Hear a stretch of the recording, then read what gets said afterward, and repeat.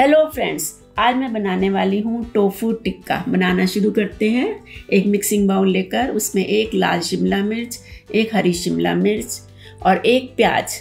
इन तीनों को मैंने स्क्वेयर पीसीस में काट लिया और ऐड किया 200 ग्राम टोफू इसके भी स्क्वायर पीसीस कर लिए एक cup chickpea flour one teaspoon rock salt one teaspoon sea pepper half teaspoon हल्दी पाउडर वन टीस्पून दरदरा कुटा धनिया, वन टेबलस्पून कस्तूरी मेथी और half tablespoon coconut oil.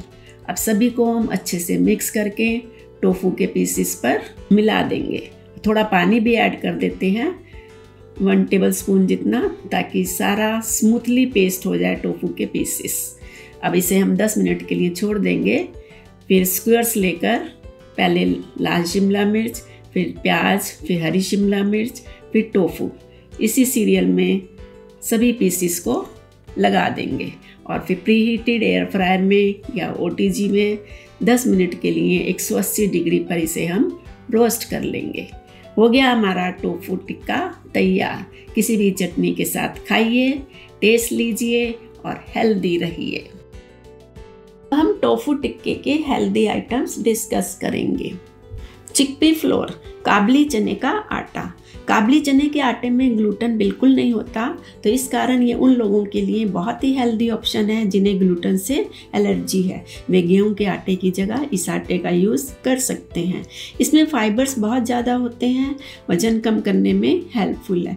इसमें प्रोटीन होता है जो कि हमारी मसल्स को स्ट्रांग बनाता है। इसमें विटामिन और minerals manganese magnesium phosphorus iron और सेलेनियम होते हैं। ये सभी हमारे ब्रेन के सही से काम करने बोन्स को हेल्दी रखने और डाइजेशन बढ़िया रखने के लिए ज़रूरी होते हैं।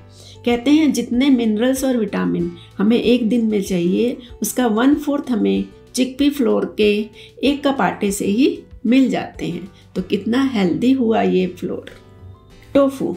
टोफू उन लोगों के लिए बहुत ही हेल्दी ऑप्शन है जो लोग वीगन डाइट लेते हैं। टोफू में फाइबर्स बहुत ज़्यादा होते हैं। ये डाइजेशन बढ़िया रखने में भी फ़ायदेमंद है। साथ ही साथ कोलन हेल्थ के लिए भी बहुत अच्छा है। टोफू सोयाबीन का बना होता है तो प्रोटीन का बहुत ही रिच सोर्स है। लेकिन साथ ही साथ इसको डाइजेस्ट करना थोड़ा सा मुश्किल होता है। तो हफ़्ते में एक बार या मैक्सिमम दो बार ले सकते हैं। बोन्स और मसल्स दोनों को स्ट्रॉन्ग करने के लिए ये प्रोटीन बहुत हेल्पफुल है। इसमें कैलोरी कम होती है तो खाने में वज़न बढ़ने की कोई टेंशन नहीं होती। वज़न कम करने में भी फ़ायदा करता है। ये लेडीज़ को मीनोपॉज के टाइम में होने वाली प्रॉब्लम से भी आराम दिलाता है। इसमें कुछ ऐसे एलिमेंट्स भी होते हैं, जो कैंसर सेल्स की ग्रोथ को रोकते हैं।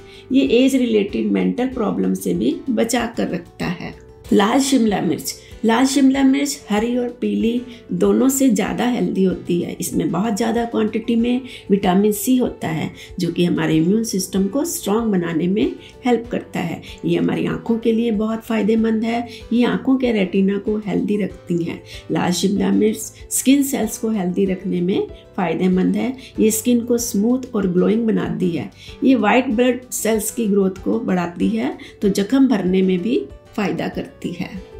देखा फ्रेंड्स टेस्टी टोफू टिक्का कितना हेल्दी भी। बनाइए टेस्ट लीजिए और साथ ही साथ हेल्दी रहिए। ओके फ्रेंड्स यू ऐप को सब्सक्राइब ज़रूर कीजिए। थैंक यू फिर मिलेंगे हेल्दी रेसिपी के साथ।